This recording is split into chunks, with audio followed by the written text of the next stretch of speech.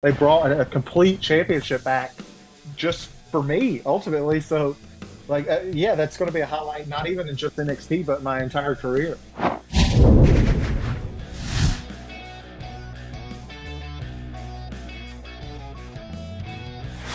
What's up, everybody? Welcome back to another episode of Out of Character. I'm your host, of course, Ryan Satin, and I am here once again so that you can learn more about a WWE superstar, who they are off camera, who they are in real life. And this week, we've got Cameron Grimes, a guy whose career I have been following since like forever. I feel like I've been watching him forever at this point. It was a huge fan of his on the Indies, huge fan of his in NXT, and now he's on the main roster on SmackDown. Had a huge debut beating Baron Corbin, and it felt like the perfect time to bring him in here and pick that brain a little bit. So I hope you guys enjoy my conversation with new SmackDown superstar Cameron Grimes. Cameron Grimes, thank you so much for joining me today. I appreciate it very much. Yeah, thanks, Ryan. Thanks for having me. So I want to start this off asking you what I ask everyone else when I start off the show, and that's how much of your real true self is there in the character that you're currently playing on TV? I think there's a, a lot of my current true life in the character. Uh, it, it really hasn't changed much. You know what I mean? It's just I've uh, just a hard-working country boy, right? That kind of got lucky and struck it rich, and and I was kind of taking advantage of that. But ultimately, my dream is to always be in the WWE. So, I, you know what I mean? I think that's very near and dear to who Trevor Caddell is, or is Cameron Grimes. You know what I mean? I think it's pretty hands on. I don't know. Yeah, and I think you know I'm someone who's followed your career for a long time now, and I think that it does seem to me that this is the most like grounded you've been as you as a character. You're not maybe outlandish as much. You're kind of so far a much more grounded like you on on TV, at least since you've been on SmackDown.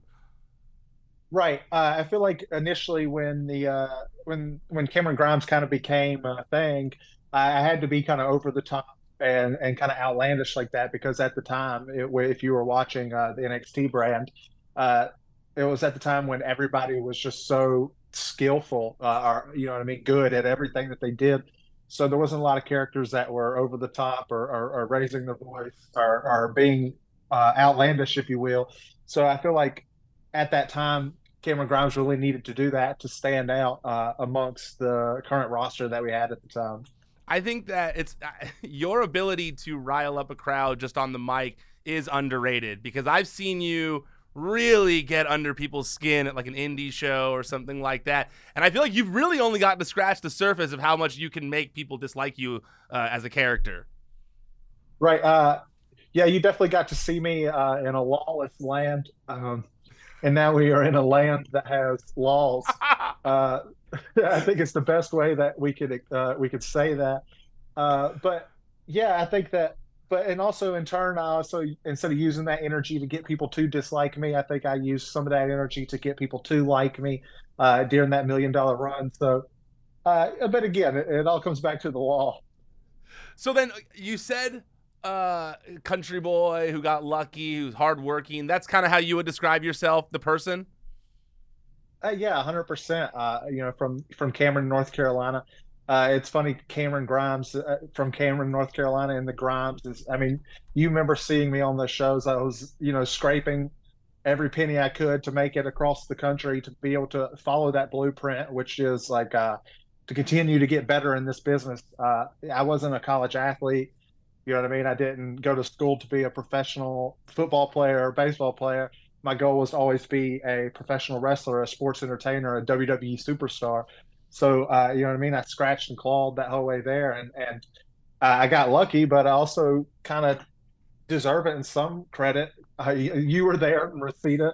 You know how hot it was in August. Uh, you know what I mean? We there was a lot of sweat and tears and blood put into it, and and I think that is Cameron Grimes right now. Well, that's why I asked the luck. I actually specifically wanted to ask about the lucky part. That's why I specified that because I do think as someone who watched you grow as a performer from the Reseda Hall of PWG to where you are now. I don't think it's luck. I do think that you're a very skilled person, and I feel like you've been a student of the game since you were a kid because of the fact that your dad was a wrestler even back then.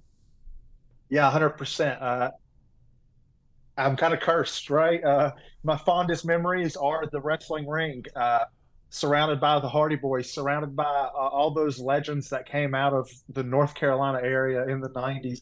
Uh, some would even say that that area inspired like what what became the style that is today, like that that crazy high spot style. Like uh, some would even argue that that uh, has a lot to do with the North Carolina area. So yeah, I, I'm, I'm gifted and I'm cursed at the same time because after seeing that, how was I going to do anything else? That's the problem. Were you so growing up? Were you fairly close with the Hardy Boyz even as a kid? Yeah, hundred percent. Like my father started uh, Mega Wrestling, is what it was called at the time, with Matt Hardy. So uh, the ring that was used to run those shows was in my yard. Uh, so like I remember going to elementary school and people knew who I was because I was the house in town that had a wrestling ring in the yard. So like it's always been there and it's always been what I've wanted to do. That's crazy. Like so yeah. wait, how old are you right now? I'm 29. 29. I will be 30 this year, September 30th. So you didn't so the Attitude Era, you were fairly young during the Attitude Era when they were on TV and stuff. Yeah, for sure. Uh, when they had won the WWE titles, the WWE Tag Team titles for the first time. I think I was around maybe like what seven or eight years old.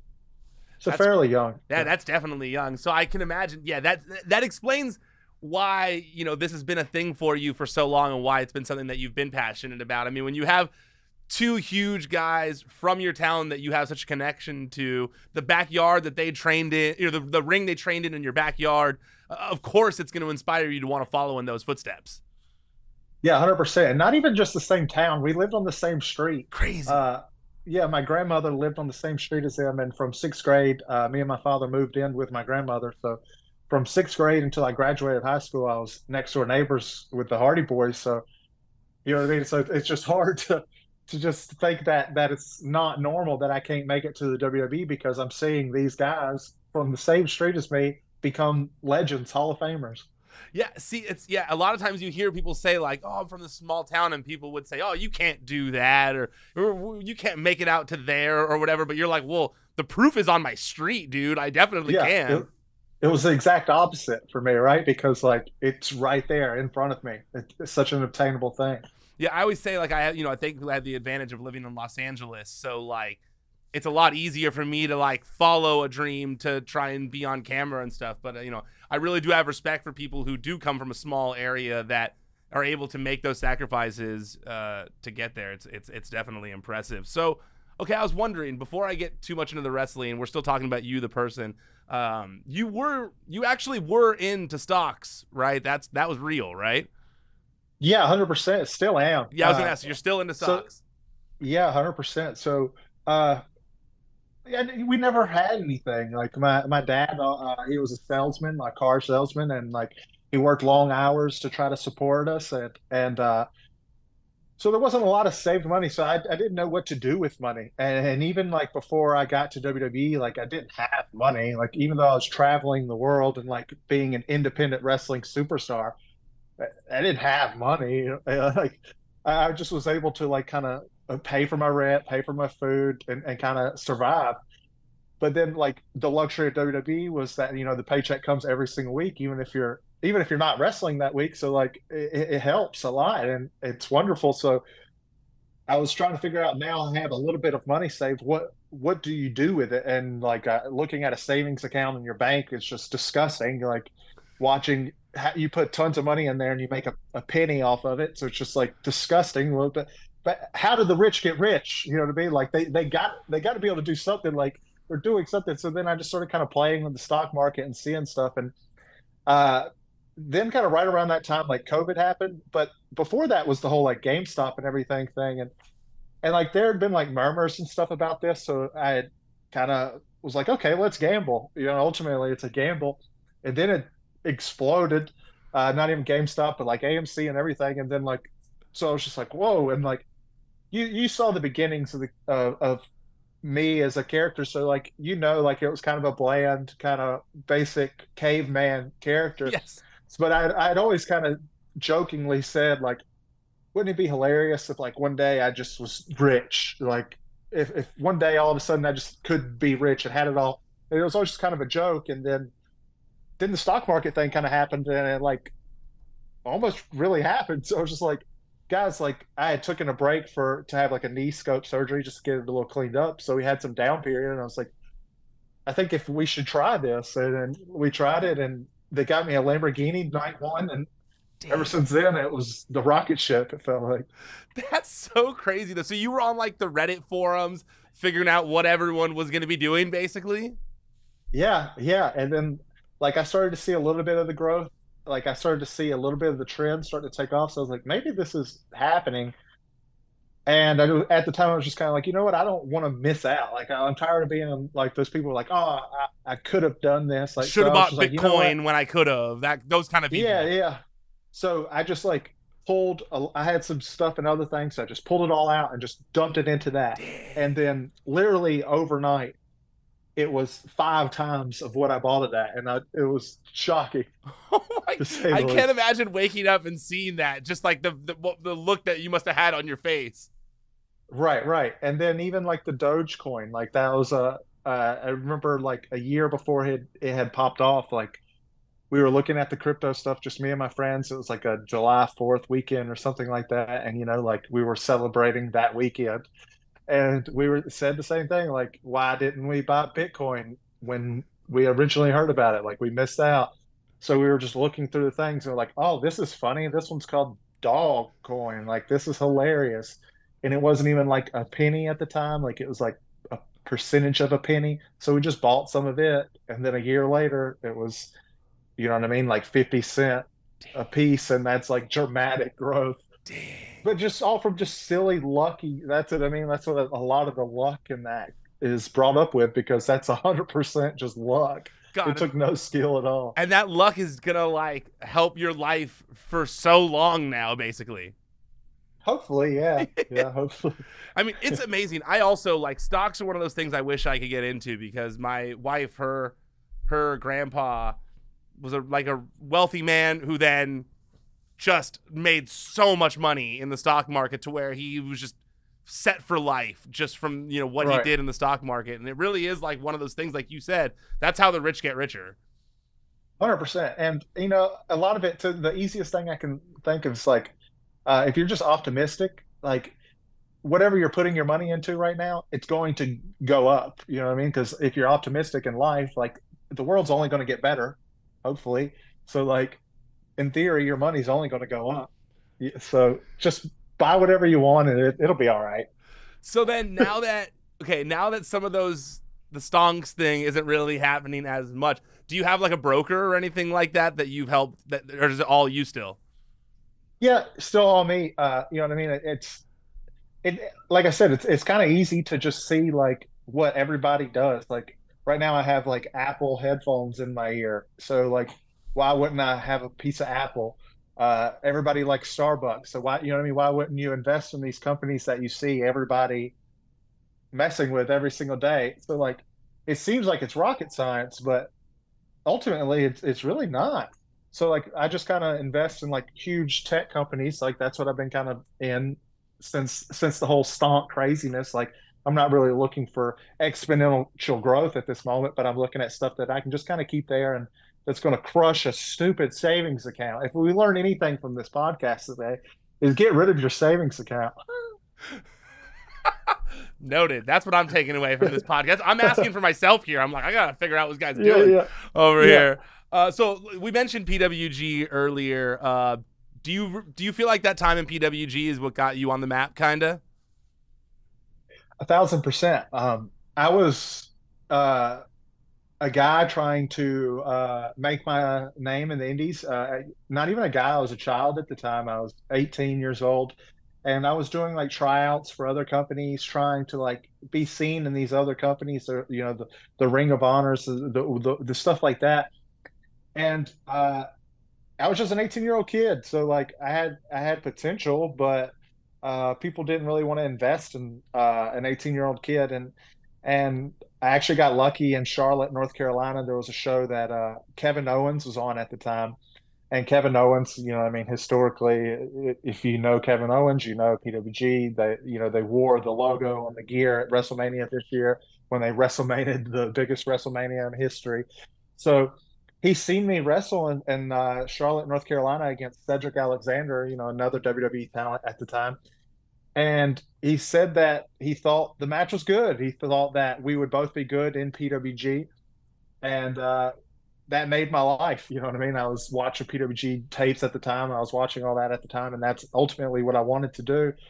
Uh, but I didn't think that was a possibility because at the time to wrestle for PWG, you had to be one of those super indie guys. You had to be like already kind of traveling the world. You don't just get brought out to PWG and wrestle on PWG like that. That just doesn't happen.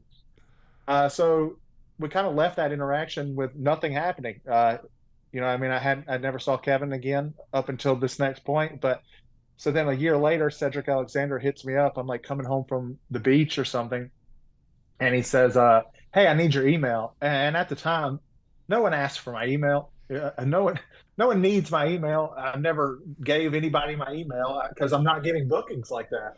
And uh, sure enough, I'm like, okay, well, I send her my email, and I'm like, what's going on? Like, why do you need my email? and he said, uh, "Not exactly sure yet, but I think we might be booked for PWG this weekend." And it's like Wednesday, so I'm like, "What? Like, what do you mean? Like, what do you mean? Like, we're in North Carolina, so first of all, I got to go all the way across the country for a Friday. What do you like? How does this happen?" And sure enough, I just get flight information for a flight to Los Angeles. Damn. So I'm just like, this is insane. What At 18 happening? years old, that's crazy. Yes.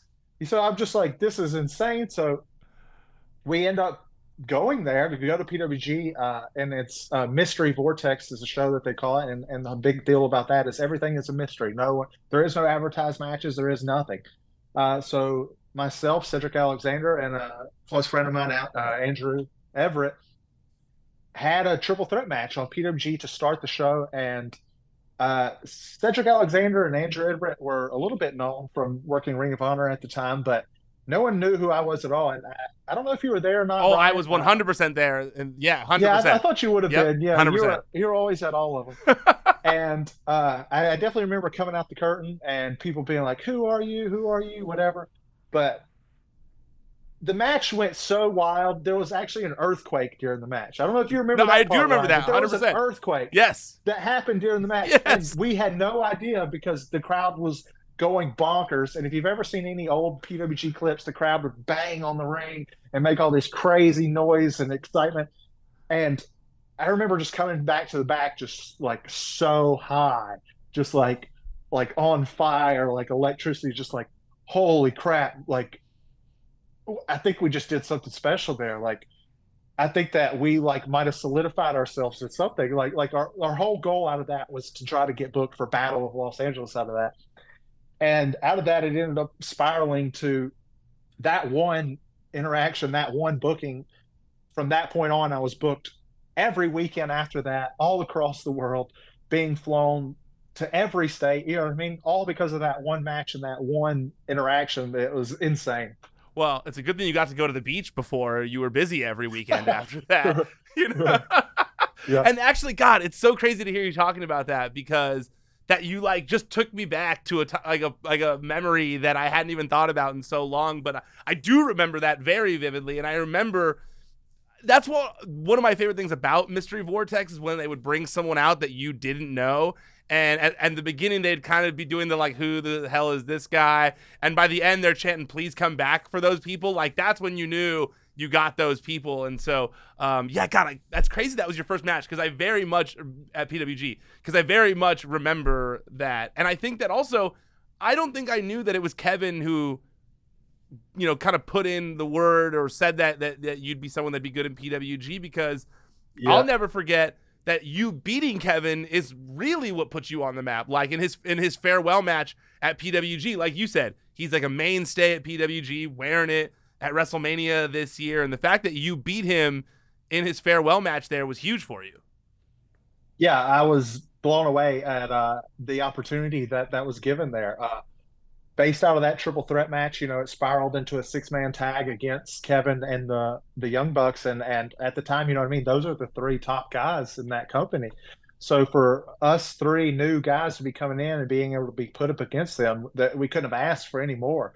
Uh, we couldn't ask for any bigger opportunity. And actually, there's like a a little side story I want to tell about this PWG thing because I don't know if it'll ever get talked about ever again.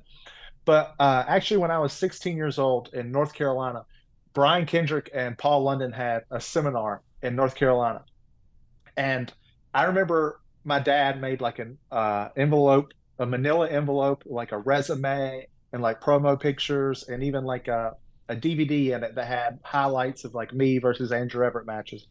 And I remember I gave this to Brian Kendrick as a 16 year old kid and said, if you would, would you please take this to the promoter of PWG and give him this? There's no way like that would have ever happened.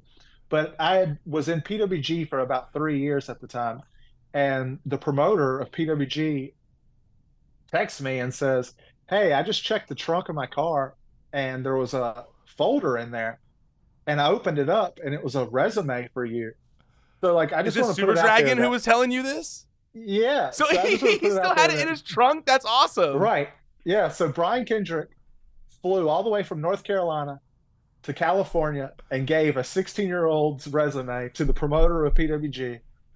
And somehow that kid ended up working for PWG, and it's just it's wild. I, I don't. I just I just really wanted to share that story. What's funny too is like, let's see, what year would that have been? I feel like that would. Let's see, you were 16, 18, so it wasn't that long, which means because a lot of times when you hear those stories, the internet wasn't as prevalent. But you technically could have probably just emailed that to Super Dragon, you know? Yeah, maybe. But the fact that Brian yeah, actually took it on the plane with, with him, took it out there, like the effort is crazy. It is crazy. And then, and like, flash forward even now, like, Brian Kendrick was a big help in me getting into WWE. So, like, uh, just putting out there, Brian Kendrick's a pretty good guy.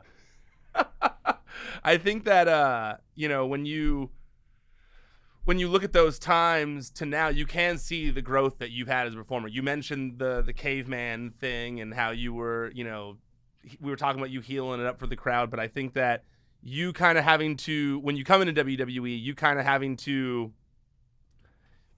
do more of the TV kind of stuff, get more of a different character going, has helped you grow as a performer a lot. I feel like. Yeah, hundred um, percent.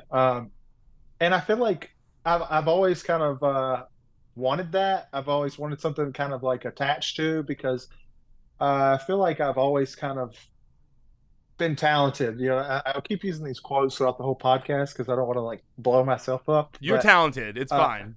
Yeah, you know what I mean. Like I, I have the athletic ability to be able to do the the wrestling maneuvers that I can do, and but uh, I've always needed something that people can like hook onto. Uh, like if when I talk to people, uh, I feel like I have a good interaction with people. I feel like people get along with me well. I feel like I can make people laugh and stuff like that. But I didn't know how to like translate that into a wrestling character or uh, whatever that may be. So just being able to like start fresh with the Cameron Grimes, it, it kind of helped me uh, kind of add layers to that character. Would you say that that's kind of the biggest difference between like let's say like an Impact and NXT for you, where you got to like add those layers with NXT? Uh, yes and no. Uh, you know what I mean. A lot of it too is uh, just kind of the growth as you are uh, as a, a person, right? Uh, I, in Impact, I was you know really early twenties. Uh, you know, I didn't know who I was either. Uh, but it wasn't because like they didn't allow me to show the growth. They would have allowed me to show that. I just didn't. I don't think had it in me at the time to be able to uh, unlock those different layers, if you will. Who are some of the people at NXT behind the scenes that helped you unlock those layers? Uh, oh, that's a great question. So I think just having the greatest like minds if you will, like kind of backing you kind of helps a lot. Like Triple H, you know, Shawn Michaels, William Regal, like these guys are are telling me that uh, you know what I mean, they can see the talent in me. Like, you know what I mean? So like just being gassed up like that, if you will, by by people that you really trust. Like I'm a firm believer that uh the right people can see the right things. Uh I don't know how to really explain that more than what that is, right? But so just being able to have that confidence of like, okay, well, if these guys trust me and and kind of see that uh, I could do it, if you will, so then that just kind of gives me the the ability to just be like, okay, well, I'm not going to get embarrassed. I'm just going to try this, and and worst case that happens is the sun's going to rise the next morning. Was it a little embarrassing initially to try and do some of those things? Uh, so for with me, like a lot of the embarrassment comes with like practicing this stuff. Like if if like if the camera's not on, I'm extremely embarrassed doing the Cameron Grimes stuff. But the second the red light turns on, you know what I mean? I it I'm just Cameron Grimes. It, it is what it is. So uh yeah, I don't know.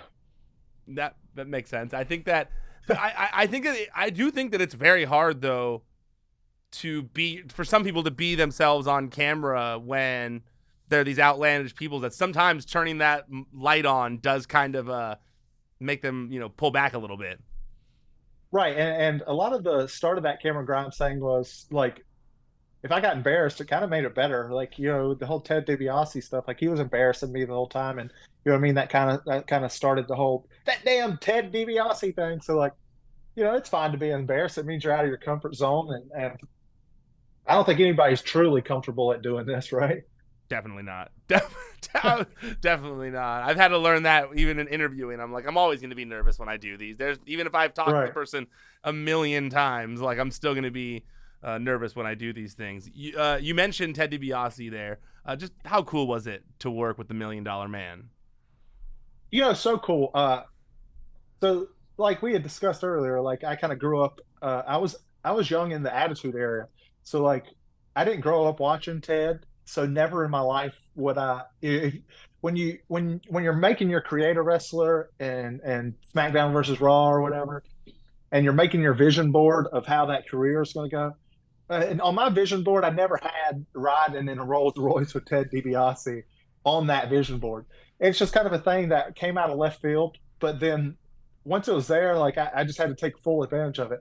Ted was the man, and we went to so many cool locations that only I feel the WWE can get for you and do for you. Like I'll probably never drive a Rolls Royce again. I would really love to. But the fact that I got to do that with the WWE and Ted DiBiase made it so cool. So like, you know, I, I could never ask for a better opportunity than we got to do with that. And I think that, you know, getting to be with someone like a Ted DiBiase who is so dialed into his character. Uh, I think that it had to help you a little bit to like have that to play off of. I imagine. For sure, and then uh, even him just being able to give me a little bit of advice when we're in between takes and stuff like that, and just kind of uh, being able to help me. You know what I mean? He's been doing promos for thirty years at least, right? So, so it was nice to just you know have more people that can be in your ear and just kind of give you different ways of doing different things. Is there any advice that you remember specifically or anything that he told you that stuck with you? Just to kind of stay strong, you know what I mean? Like uh, this business can be tough and you know what I mean? You can be there can be very high highs and there can be very low lows and you just got to know how to be able to handle those and be able to uh, maintain and stay in this business. Do you think that was the highlight of your time in NXT that that time that feud and period? Yeah, for sure. I uh, you know what I mean? I don't think it can get any bigger. Of course, you know, I would have loved to have uh, wrestled for the NXT championship and, and maybe have held that. But they brought an entire championship back, the million dollar championship, uh, well, out of 11 year, 12 year absence. They brought a, a complete championship back just for me, ultimately. So, like, uh, yeah, that's going to be a highlight, not even in just NXT, but my entire career. And I think there's actually surprisingly like a lot of people who have succeeded on the main roster that were in NXT that never won the NXT title. So maybe, you know, maybe it's not the worst thing that it never happened, you know. Right, right, right. Of course. What did you think about the part switch? of the blueprint though? Yes, part of the blueprint for sure. Uh, what did you think about the switch to NXT 2.0?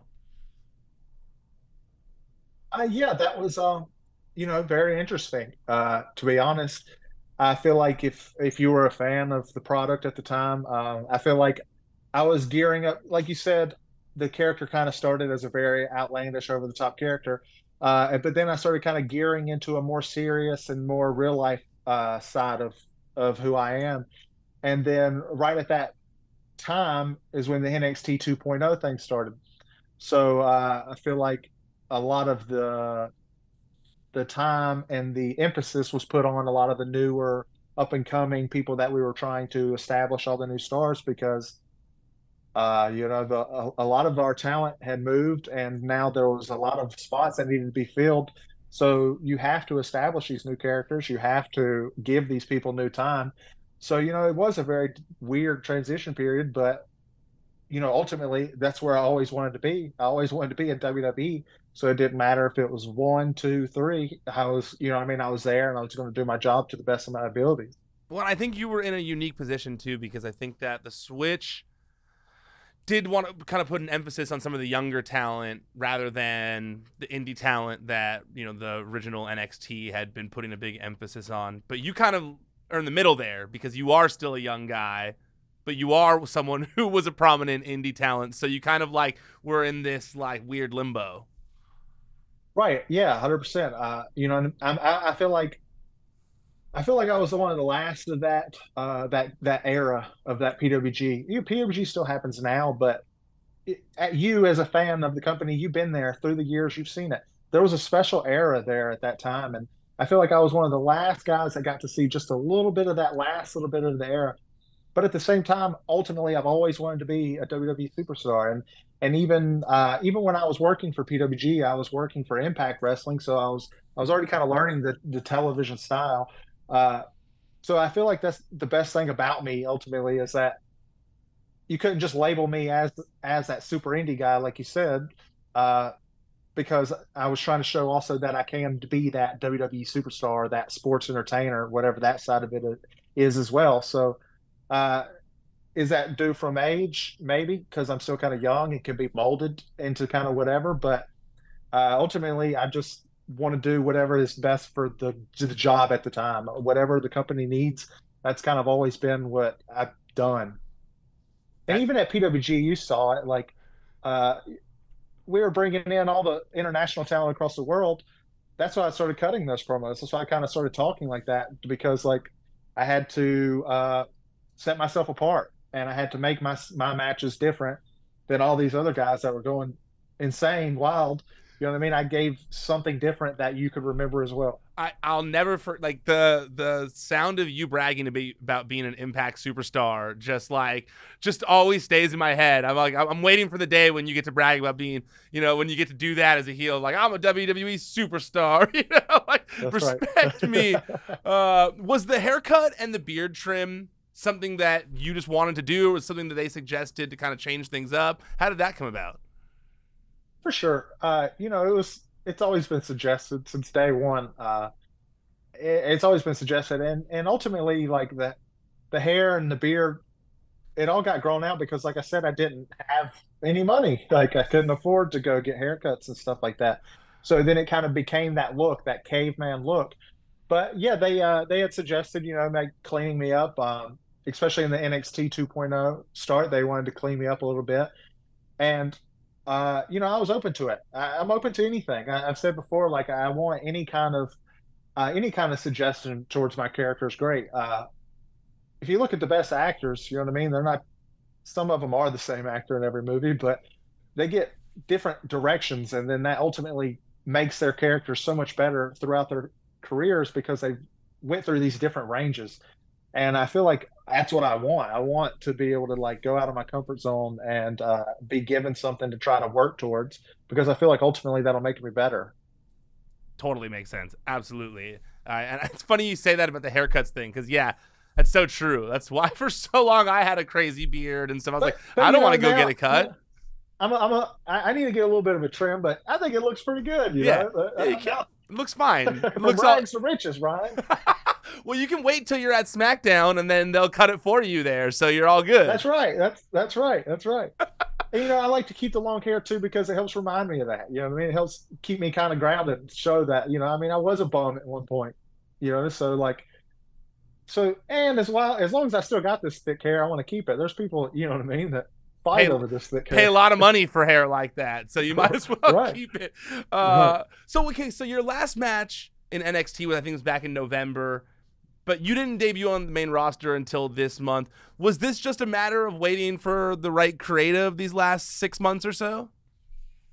Yeah, hundred percent. I mean, uh, again, if it, it, it's it's easy speaking to you because I know that you're a fan and I know that you're watching the product. You know, it's not just like a random person that I have to try to explain this to. But if you've watched our product in the past year, it's incredible. It's on top of its game. And like you said, my last NXT match was in November. Around that time, we're gearing up to go to the Royal Rumble. We're gearing up to go to WrestleMania. Uh, and like I said, if you've watched our product, that whole stint to going into the Rumble and going into WrestleMania, there has been incredible segments that's been happening on television, and and I think I would be insane to th- to say like, you know what, let's cut five minutes from this Bloodline segment to establish Cameron Grimes right here. So you know, I mean, I felt like it, it is all it was all timing, and and I definitely took that down period of time and got in the best shape of my life. You know, I've, I've taken advantage of the PC. Uh, they have we were talking about this a little before. They have everything. Like if you've ever watched Rocky, like the scene where Drago's like in the gym and he's got like all the the equipment hooked up to him and the breathing tubes and they're like perfectly scientifically doing it. That's what they're doing at the PC now. So I've just been completely taking advantage of that and getting ready because I knew that I am at the pinnacle now. I am at the top. There is no higher. Ryan, you saw me at the bottom when the, the super indies. You know what I mean? There is no higher. I, I cannot go any higher now. So the only thing I can do now is stay here and try to make the most out of it. I actually I even went further back in your career when I was researching for this because I was like, well, I've seen it in PWG. I found a match of yours from like 2009 where you've got like the spiky hair and you're like this little scrawny kid wrestling like a Willow the Wisp, uh, uh, not Jeff Hardy. It's like a knockoff of Willow the Wisp. Yeah. And, and I was like, man, to see that to, to that, you know, is so cool, you know. And I'm for those of you listening, I'm pointing at a picture of him on SmackDown now, but uh, the progression is just awesome. And yeah, dude, the shape that you've gotten in for this is amazing. Like I can imagine. Uh, did you? How, how what's your body percent? What's your body fat percentage? You know all those kinds of things now that you're all ripped. Right, right, right. Yeah. So they definitely have that, and they they they judge that. I'm sitting at 13 percent right now, so you know there's people that are going to hear that and, and be like, oh, that's great. But then there's people that are going to hear it and go, oh, he's fat. So it just depends on which side of the which side of the social uh, you're on there. Depends but, on if uh, you have abs or not. If you have, you yeah, know. yeah, yeah. But you know, I you know I feel great. I feel healthy, uh, and that's really all that matters is is my health because uh, doing this, what it's going to be 50 weeks out of the year, 52 weeks out of the year uh, ultimately we have to stay healthy. Uh, this isn't like the NFL where we have 16 weeks where we have to hit it hard and then we get to take a break. We have to be able to maintain this lifestyle and maintain this year long. So uh, I've just been really trying to figure that out and get it going so that when I start this journey on SmackDown, and you know here we are a couple weeks into it, that uh, I can maintain it and stay here. My my I'm I'm almost 30 years old I want to be here until I'm 50, uh, hopefully, right? So, yeah, of course. So this is the start of that. How did it feel finally making that entrance on SmackDown, knowing how far the journey has come, knowing how much you put in the work these last six months? It must have felt it must have felt great. Yeah, I, am a big crier. Uh, like uh, I, I'm not afraid to uh, to to cry. I'm very passionate. Um, so the whole day leading up was, you know, uh, pretty bad. Uh, luckily, my uh, my debut on SmackDown was um, pretty easy. So like I, I didn't I didn't have to get too worked up over it. But definitely the whole day, just leading up to that moment, oh yeah, the, the tears were coming. you know, I'm not like I I shouldn't say I'm not. I don't know how much of a spiritual person that I am, but as someone who also recently lost their father, uh, I hope that it felt like he was watching down on you that whole time. Yeah, hundred uh, percent. And you know, through this whole journey, uh, for those that don't know, uh, I you know I was told on a Wednesday that I was signed to the WWE, and I was able to tell my father on that day that I made it to the WWE. And then four days later, I received a call that my father had passed away.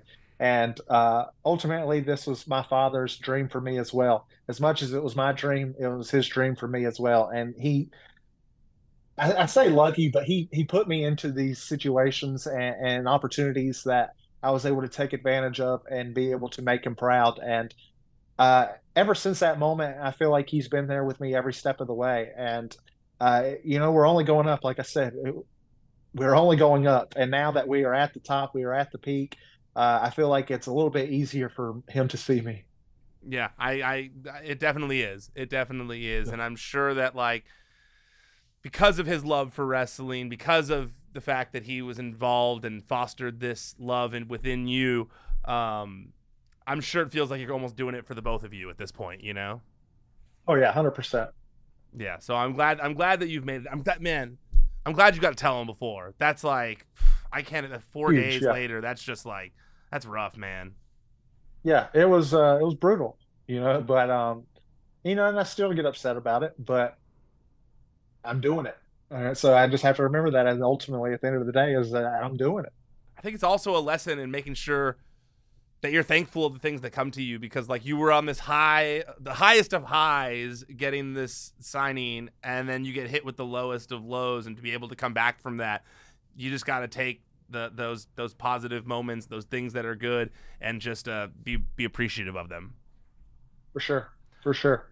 All right. Well, we have reached the final segment of the show here. I think I believe so. Uh, but I like to end every uh, every episode of the show with a segment that I call the finishing move. There we go. Oh. Look at that. Well done. Timing wise, great. Uh, I'll start it off with asking you, what's your least favorite move to be on the receiving end of? Oh, that's a great question. Uh, I think I would have to say um, Finn Balor's coup de grace, right? Like just laying down on the ground and seeing someone just jump straight up in the air and just crush you. Uh, it, it's pretty terrifying. Ironically, you know what I mean? Uh, my finisher is kind of close to the same. Very close indeed.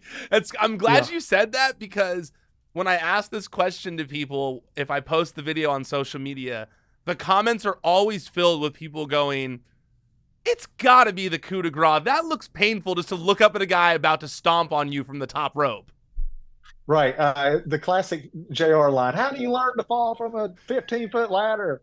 How do you learn to get stomped on from 15 feet? You, you don't. you definitely don't. Yeah, you, don't. you, just, you just hope that you have uh, the abs that, that can take that kind of stomp yeah, at that point, you want the body fat percentage. yes. Uh, if you could steal any famous finishing move and make it your own without consequence, which would you choose? Well, I think it's it has to be an obvious answer, right? I think anybody would give this answer. It's got to be the RKO. I mean, of course. I mean, it's only the coolest move ever. That's why it's just in memes and everything. Like if you fall, you're get you're going to get imposed RKO by somebody. Uh, you know what I mean? So why wouldn't you want that opportunity? Yeah, absolutely. I think that. I also think that it's, it's it's interesting that you call it the RKO and not like the diamond cutter too, because they are kind of the same. And I think that it depends on your age and what you're going to call it there. So that makes sense that you're playing oh, yeah, SmackDown versus yeah, Raw and stuff. You're doing Orton. You're doing the RKO. Oh yeah, I'm I'm boom boom boom boom boom boom. uh, and lastly, what's the most memorable time that you've hit your finishing move on someone and why?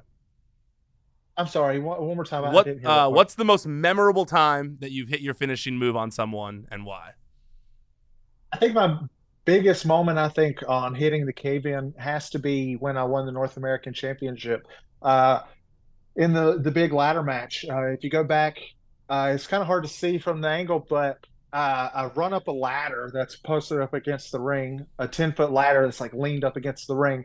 I like ran all the way up the ladder and then jumped off the top and hit the cave in. So I think to then win the North American Championship uh, at uh, what Stand and Deliver on WrestleMania weekend. So that that was a huge moment. We were back in the stadium. That was the first time we were back in an arena since COVID era. So we finally got out of the little arena and, and got in front of a bunch of people. And then I finally got to stomp some guts out and head on up and get the North American Championship. So just off the top of my head, I think I have to go with that one. Well, Cameron, I am so glad we finally got to do this. Uh, like you've said on here, we've talked about it. I've been a fan of yours going back so long, and it's you know, it's cool to see that as long as I've been following your career, you're really at the start of it now. Like you've done so much before, but now you're really at the point where I just expect nothing but good things to happen for you on the main roster, and I'm so proud of your success. Uh, and I'm just, I'm just, I can't wait to see what else you do on SmackDown.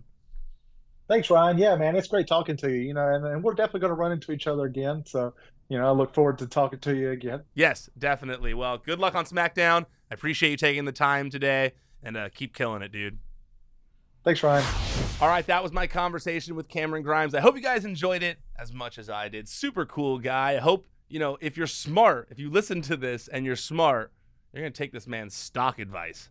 This man said he bought a Porsche from his stock money. So we should all take a few notes and follow in his lead. I know I'm going to because buying a Porsche sounds pretty cool.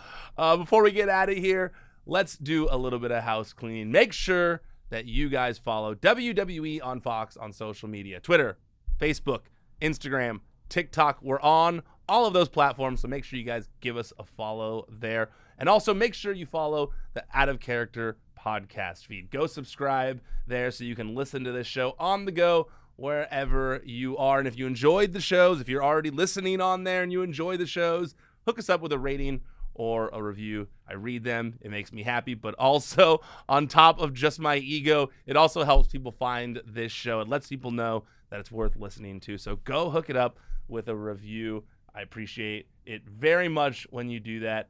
So go do me this little solid if you can if you're already on your phone, not if you're driving, but if you're like staying still somewhere, go hook it up with a rating or a review. And also, if you're listening to this and you're not already doing so, make sure that you go subscribe to the WWE on Fox YouTube channel. That's where you can find this video, this this this show, excuse me, this podcast on video every Wednesday early in the morning and also clips from Raw and SmackDown, clips from this show. There's stuff in the community tab. There's everything you'd want out of a pro wrestling YouTube channel. So make sure you guys go subscribe to us there.